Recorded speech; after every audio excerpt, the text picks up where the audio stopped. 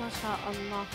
يعطيك العافية نجلاء آه، العامر فنانة تشكيلية تميزت بفنون الرسم على اللوحات والأواني والأثاث وأيضا تميزت بفن الضربة الواحدة. اليوم راح تعلمنا عن يعني أكثر عن فنها التشكيلي. يعطيك العافية نجلاء الله يسعد. صباحك. أنا على طول أخذت واحدة وحطيتها على حل عليك. على الخير صباح النور. معنا في. صباح السعودية. أولا مثل ما قلنا فن الضرب الواحد أو فن الضرب الواحد. وش هو فن الضرب الواحد؟ آه هو فن آه أول شيء سعيدة بتواجد معكم اليوم. أكيد. شكرا على شكراً. الاستضافة. آه هو فن آه حديث معاصر. آه آه يعتمد على الدمج. آه آه، يعني يتيح لنا الرسم ب آه، يعني أساليب جدا مختصرة وسريعة. آه، أعتمد فيه يعني بدل ما أنا مثلا أدمج آه، ظل ونور وأدخل اللونين في بعض في اللوحة آه، على طول أحط الألوان على الفرشاة وضربة واحدة أخلصها. جميل. ما شاء الله. يعني أيضا في كثير من الفنون التشكيلية اللي انتشرت في آه، السوق. خلينا نشوف شوية إيش الفن التشكيلي اللي تميزت فيه آه، آه، حضرتك. بالنسبة لي يعني أحب أجرب أنا يعني أحب كل فترة مثلا أحترف شيء معين أنتقل للمجال اللي بعده. آه، رسمت بالألوان الزيتية بالألوان الخشبية برضو مثل ما شايفين. بألوان ال- الأكريليك تخصصت فيه يعني من من عشاق ألوان الأكريليك. آه، وبرضو ما اقتصر يعني رسمي على اللوحات فقط لا حبيت أجدد أطلع عن ال- آه، اللوحات يعني. وأبتكر. أطلع عن المألوف صح. ما شاء الله رسمة العين هذه شدتني يوم دخلت الاستديو شفتها. إيه، هذه بالاكريليك ما ما ما اضطريت على طول صورتها طيب نجلاء السؤال.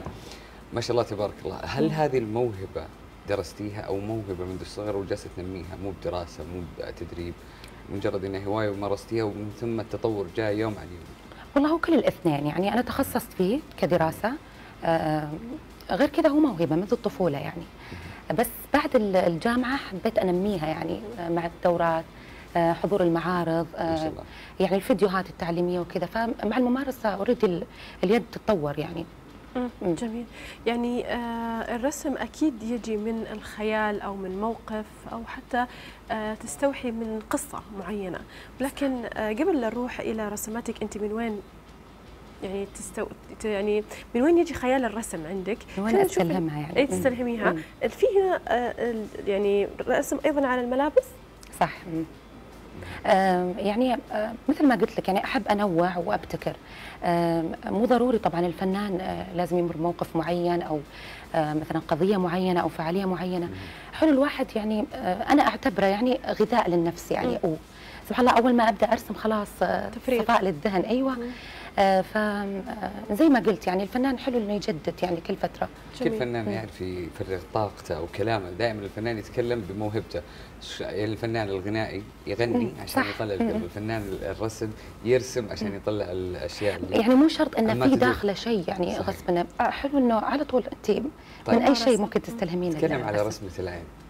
وش هل كان استلهام معين أو مجرد رسمه رسمتيها؟ أي واحدة هذه ولا رسمة العين اللي شدتني. أيوه آه لا هي كانت صراحة آه، يعني محاكاة لرسمة معينة مم. بس آه يعني حطيت لمستي الخاصة okay مم.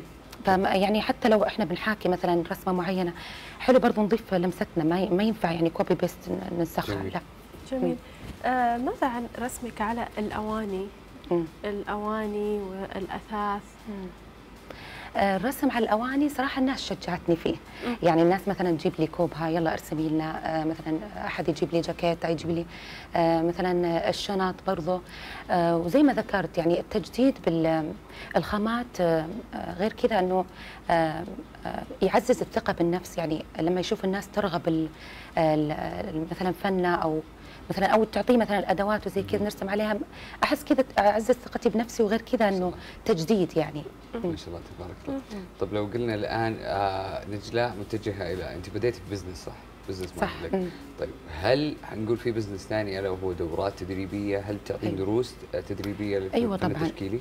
أي أكيد آه، مجالي في الدورات التدريبية من تقريبا ثمان سنوات ما شاء الله بدأتها آه، دورات أونلاين بعد كذا يعني الآن أونلاين مباشرة. طبعا دورة. الضربة الواحدة موجودة حاليا متاحة.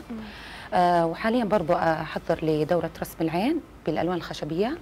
ودورات ال- الأكريليك جميل. آه، تطرقتي إلى الثقة بالنفس ولابد أن يكون الشخص لديه ثقة بما يقدم. آه، هل يعني آه، في نصيحة ممكن أنت تقدميها لكل شخص مقبل على آه، رسم آه، يعني. آه، يتكلم شوية عن فن هو آه، متميز فيه باحترافية ولكن متخوف شوي من الظهور على الساحة؟ صح. مم. آه نصيحتي يعني آه مهما كنت آه إحنا ما بدينا على طول يعني محترفين. بدينا مبتدئين لازم تتطور تسأل تحضر معارض الدورات التدريبية متاحة الآن موجودة حتى أونلاين يعني. في ناس من آخر العالم يشتركون. ف وغير كذا لا يعني أي كلمة تجيك لا تتحطم لا ت... يعني حفز نفسك استلهم الأفكار من ال- جميل من غيرك. طيب خلينا نتكلم الآن على صعوبات نجلاء العامر، وش الصعوبات اللي واجهتيها؟ ممكن أنت ذكرتي إن في بعض الضغوطات تجي بعض الكلام الانتقادات مم، انتقادات، الانتقادات الهدامة ما راح نقول مم. البناءه لأنه ما راح حتى لو هذا نمدح دائما. مم. طب وش ال- الصعوبات اللي واجهتها نجلاء؟ بعدها تسولفين على الرسومات أيوة. هو آه، الحمد لله أنا لقيت الدعم صراحة من أهلي من اللي حولي. يعني ما في صعوبات يعني قوية إلا ما كان مثلا آه، يعني آه، بعد الدراسة يعني تعرفين مثلا ظروف ال- الأحداث الحياة ظروف الأولاد وكذا بس ابدا لا تخلينها عائق. آه، أيوه آه، حاولي على الأقل تخصصين لو جزء باليوم نص ساعة ساعة تمارسين فيها وبنفس الوقت تطورين نفسك فيها. بالفعل. آه يعني ممكن تشرحي لنا شوية عن آه سبب تسمية هذه ال- النوع من الرسم بالضربة الواحدة؟ مم. ليش سميت بهذا الاسم؟ اللي انت الآن أتوقع أنا هي اللي سريع رسمتيها معلش؟ يعني إنه أيوه. هي اللي رسمتيها الضربة أيوة، الواحدة بس بالضبط. قبل لا تشرحي لنا رسمة نبغى نعرف سبب تسمية هذا الفن. من الرسم بالضربة الواحدة؟ أيوه. ضربة واحدة هو آه، يسمى one stroke painting أنا مثل ما ذكرت أدمج لونين بفرشاة واحدة بضربة واحدة أرسمها. يعني ما ابدا ما يعتمد برضو على ال- الورد. ممكن أرسم زخارف أرسم حروف آه، غير كذا ممكن نستفيد منها برضو آه، مثلا توزيعات الأعياد آه، توزيعات المناسبات. آه، كلها يعني ممكن جميل. خامات مختلفة جميل أنت قلتي تعطين دورات وفي الآن حصري دورات الضرب الواحدة صح، مثلا جيت أنا. قلت نجلاء أنا أبي أتعلم فن الضرب الواحدة كم يبي لي مدة هذا وإذا قلنا أنا عندي الشغف ومتحمس مم. ومرة أبي أتعلم فن الضرب الواحدة كم يبي لي مدة تقريبية هو ما في مدة معينة حسب قدرتك حسب ممارستك المستمرة مهم. فطول ما أنت تمارس باستمرار طول ما اوريدي اليد تتطور يعني سؤالي أي بمعنى فن الضرب الواحدة هل هو لمبتدئ أو أيوة، لمرحلة مم. متقدمة من لا لا في مبتدئين يدخلون آه وبالعكس الآن ما شاء الله يعني ماسكين مشاريع ما يعني شاء الله تبارك جميل. يعطيك العافية نجلاء يسعدك. العامر فنانة تشكيلية. طبعا تكلمنا عن أنواع الفن اللي أتقنته ومنه هو فن الضربة الواحدة والخامات اللي رسمت عليها. نتمنى لك التوفيق للأمانة. الله يسلمك. يعطيك شكراً. لك. شكرا. لكم.